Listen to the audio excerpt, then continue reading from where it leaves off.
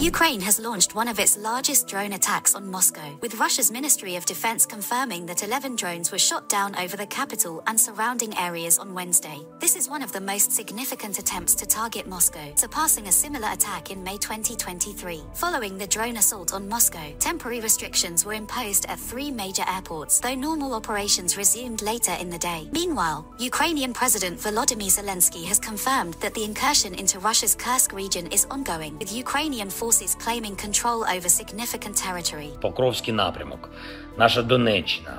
Ми розуміємо кроки ворога і посилюємось. Проведено перевірку щодо забезпечення снарядами. Дуже важливо, щоб партнери реально виконували зобов'язання по кожному пакету, по всім нашим домовленостям. Це фундаментально для оборони. Наша операція в Курській області триває. Наша бойова робота робляться кроки. Контролюємо визначені райони. І дякую всім нашим хлопцям, всім підрозділам за подальше поповнення обмінного фонду. Друге, провів тривалу, дуже детальну нараду з урядовцями та представниками Верховної Ради. Кілька питань.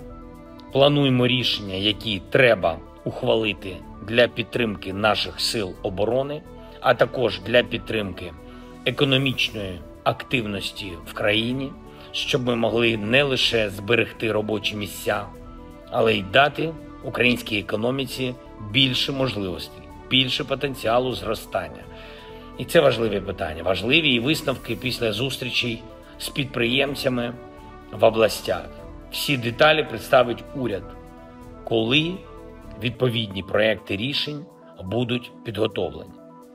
Але вже можна сказати, що домовились з урядом, міністри шукатимуть альтернативні рішення без тиску на білий бізнес, а також домовились про додаткові державні кроки щодо детінізації. Окрім цього, обговорили сьогодні роботу з партнерами щодо наближення реальних рішень про обіцяні 50 мільярдів доларів від заморожених російських активів. Багато було вже політичних заяв від партнерів. Багато і зараз звучить щодо цього, але нам потрібен реальний механізм. Потрібно, щоб кошти від активів агресора працювали на реальну допомогу з захисту від агресора, щоб все це працювало заради України і українців і вже найближчими місяцями. Занадто довго тривають відповідні дискусії. і Нарешті потрібні рішення. Ще одне за сьогодні. Говорив з патріархом Варфоломієм.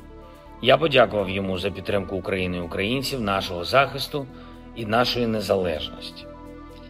Поінформував щодо ухваленого закону на посилення нашої духовної незалежності.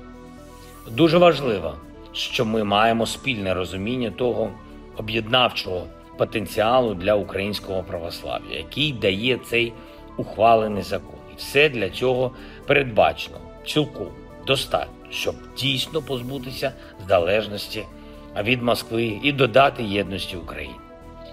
Дякую усім світі, хто з України. Слава Україні! Postponed elections in seven municipalities in Kursk due to security concerns.